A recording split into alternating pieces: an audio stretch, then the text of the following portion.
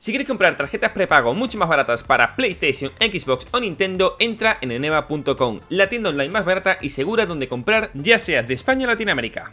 Muy buenas chavales, Caramelo y estamos en Rainbow Six Siege y desde ya decir que un buen ratito de 5000 likes para más cositas como esta y aparte si queréis que haga una guía de todas las miras que hay nuevas, pues ya sabéis, un reto de 5000 likes. Vamos a ver hoy el armamento de cero. Vamos a ver el armamento de Sun Fisher Splinter Cell.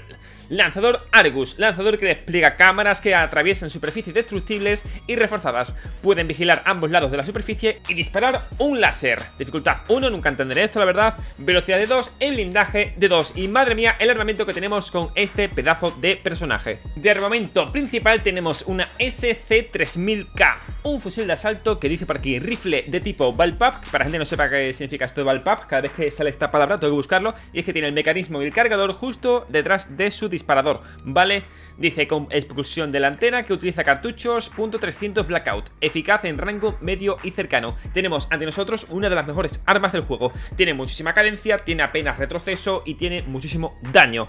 Por el contrario tenemos una MP7 que ya sabéis que es bastante conocida, dice en rango cercano medio, este es un fusil con alta cadencia de penetración, es muy usado por los alemanes. Vamos a ver la configuración que tenemos con este arma, ya la llamaremos la 3000K, ¿vale? Porque tiene un nombre rarísimo. De miras, tenemos actualmente 5 y prácticamente 4 de 5 son nuevas, ¿vale? Tenemos la de punto rojo, que como estáis viendo por aquí, ¿vale? Tenemos la holográfica, que como veis es un diseño totalmente innovador Tenemos la reflex, que esta es la mira antigua, ¿vale? Tenemos la mira 1,5, ¿vale? Que mete un zoom de 1,5 y la mira 2.0 En este caso no tiene esa mira ACOG, ¿vale? Que tendríamos normalmente, que por cierto, eh, aclarar, la mira ACOG normalmente es un 4.0 Pero desde siempre en Rainbow Six la mira ACOG ha sido un 2,5, ¿vale? Eso que lo tengáis en cuenta Que sí, que en todos los juegos de shooter la ACOG siempre ha sido una 4, ¿vale? Un zoom por 4 Aquí la ACOG siempre ha sido un 2,5, ¿vale? Tenéis eso muy en cuenta Lo dicho, aquí ya sería un poco a gustos colores Porque esto más bien depende del tema de la guía que vaya a hacer, ¿vale? Así que pues eso queda en vuestras manos Si llegamos a ese ratito de 5000 likes, pues en la que lleguemos Pues tendremos la guía de qué miras mejor, ¿vale? O para qué serviría cada mira Ya que cada una de ellas te da ventajas o desventajas en cortas o largas distancias O para X encuentros. No obstante, probaremos en partida tanto una mira como otra, ¿vale? No creo que las probemos todas, o igual sí, sí, vamos a probarlas todas Para que veáis cómo se sentiría cada una de ellas. Pero primero vamos a ver todo el armamento. En este caso, en el cañón tenemos tanto cañón ampliado, silenciador, compensador, reductor o freno de boca. Esto ya un poco más a gustos colores, ¿vale? Ya sabéis que tenéis la guía del tema de los cañones que de para qué sirve cada uno. Pues bueno, tenemos en empuñadura tanto vertical como en ángulo. En ángulo ya sabéis que sirve para apuntar mucho más rápido Vertical es para tener más precisión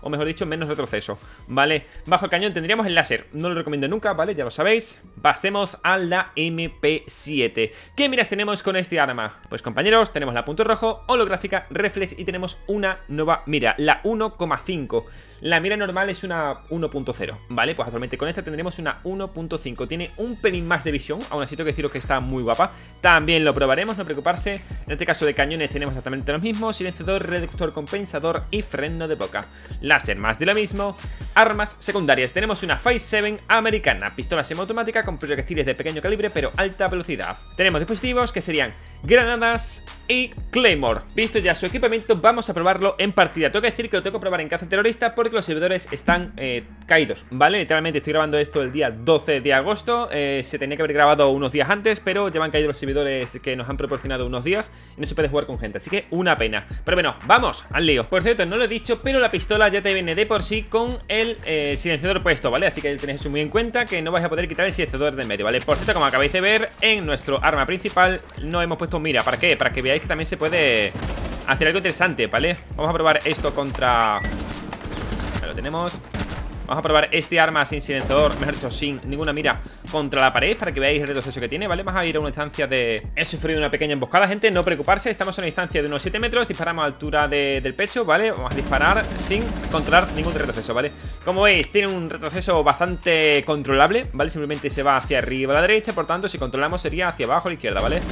Ahora tendríamos, ¿vale? Ahora mismo tengo un poco la mano apoyardada, ¿vale? Pero bueno, el retroceso la verdad es que es bastante nulo como veis, apenas tiene 25 balas por cargador Así que sí, sí que es cierto que es un poco más F, un poco más caquilla, ¿vale? Pero aún así tengo que decir que las balas se van enseguida Vale, tiene mucha cadencia, tiene bastante daño para ser lo que es Y da bastante bien, pero mirad la mira así, o sea, cómo se ve, ¿eh? o sea, la mira de hierro De las mejores miras, sinceramente De hecho, es muy parecida, por no decir que es exactamente la misma A la mira de, de los alemanes, de la MP7, ¿vale? Del Bandy pasemos a mira de punto rojo Como veis, una mira bastante buena, pero muy buena O sea, literalmente, comparamos este al anterior es en plan, tío, tienes mucho más...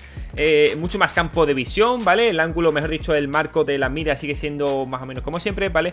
Pero está muy bien, es muy limpia y la verdad es que aquí sí que aconsejo bastante poner punto rojo O bueno, ya si podéis, eh, ya no voy a mirar raro, ¿vale? A la gente que tenga punto rojo puesto, que antiguamente sí que era una locura pero ahora no, ahora está muy bien O sea, fijaros a la velocidad a la que dispara todo esto Vamos a ver cuánto tarda en tirar todas las balas, ¿vale?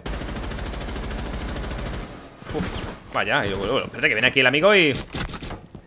Como ve la pistola, pues bueno es una 5-7, tampoco hay demasiado, no sé, aquí que ver, ¿vale? Una 5-7 normal y corriente Y pasemos a la holográfica Bastante raro, ¿eh? Bastante rarito, por cierto Poco se habla del nuevo personalizado, ¿vale? De las miritas y tal, que está bastante bien Ahí lo tenemos, ¿vale? Que todavía fallan mil millones de balas Uf, es que se ve muy guay, ¿eh? O sea, puedes hacer mil configuraciones nuevas con todo esto Venga, pues lo recarga Y lo he dicho, prácticamente es un arma, a ver, no nueva, ¿vale? Pero sí que es cierto que, se nota bastante diferente usando una mira u otra, ¿vale? A nivel de retroceso y todo eso va exactamente igual, ¿vale? Porque es así, es una mira, no es un cañón ni nada que te afecte a, tu forma de disparar Pero esto ya como más como te encuentres, ¿vale?